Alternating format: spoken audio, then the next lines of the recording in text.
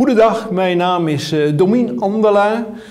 Hello, everybody. My name is Domien Andela, and I am chairman of the KFPS Integrity Committee.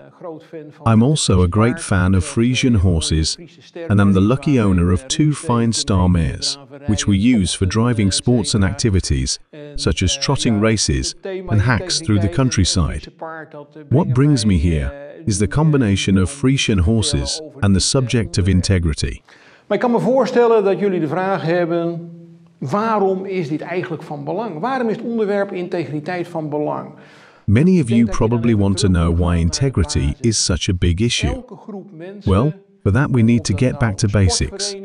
For every group of people or community, no matter if it's a company, sports club or the KFPS, trust is crucial. And an essential ingredient for trust is integrity. Voor vertrouwen is integriteit. Zonder integriteit is er geen essentieel noodzakelijk vertrouwen tussen mensen. Dus ik vind I'm glad to be here to tell you something about this subject. So what exactly is integrity? In essence, it is pretty straightforward. It means that people's actions always have to stay in line with the law, that people act conform regulations and statutes, and that people respect elementary behavioral norms and values, and particularly in the context of the KFPS. En in de derde plaats dat je elementaire gedragsnormen en waarden in acht neemt. We now have a culture map stating norms and values. But does that mean we're finished and the job's done? Not at all, because there are two reasons why this can be tricky in everyday life. Things are not always black and white. There are situations that are not so simple, because people look at things from different perspectives. The second reason is that people have to deal with these situations in a correct manner. For instance, when acting in the capacity of board member, inspector, jury member or council member, people can be confronted with situations that may potentially put their integrity at risk, or in any case, might be of a debatable nature. In such cases, it is key to be prepared and know how to react. I'll come back to that later. Daar kom ik straks nog even eh, op terug. Maar goed, in the challenge is how to recognize potential integrity issues. For the KFPS, there are three areas we have to consider. Over het actief zijn binnen het KFPS, dat zit denk ik binnen drie thema's. The first is a conflict of interest. People who keep horses or work together with people who own horses must be on their guard to make sure that their personal interests don't clash with interests or responsibilities in their function of member of the board, member council, or direction.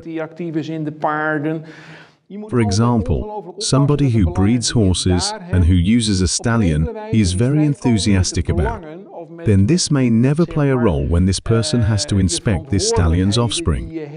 That puts you in a debatable position. After all, it might be in your favor to give this stallion good marks.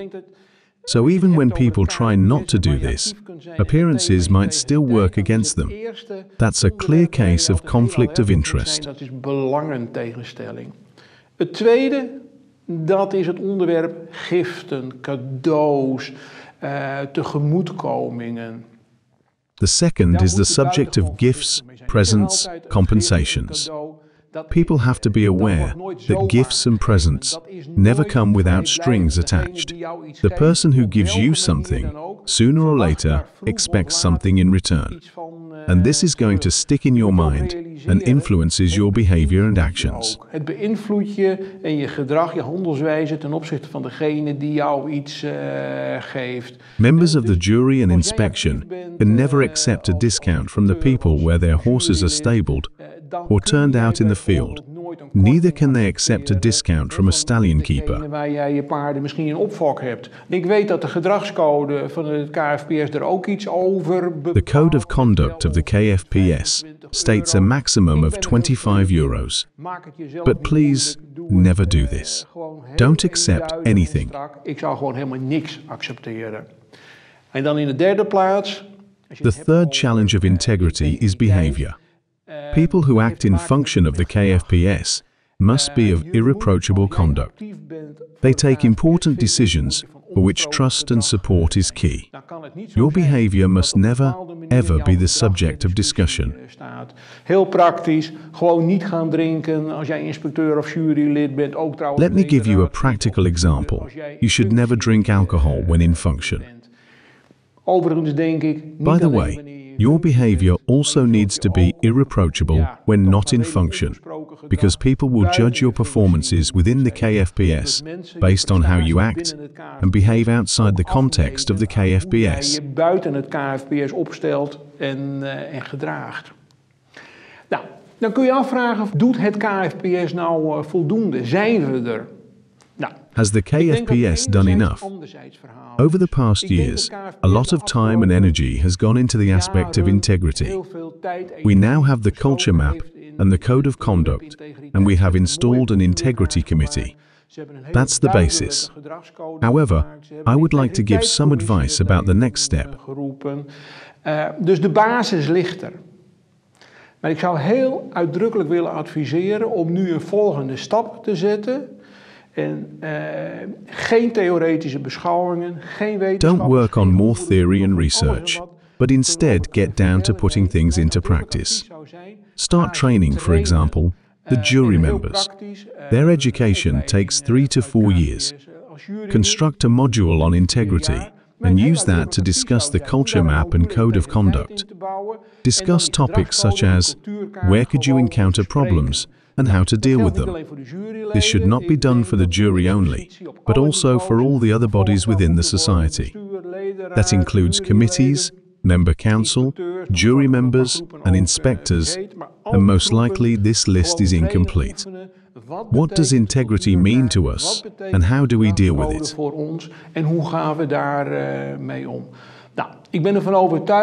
I'm convinced that anything that gets attention will grow and blossom.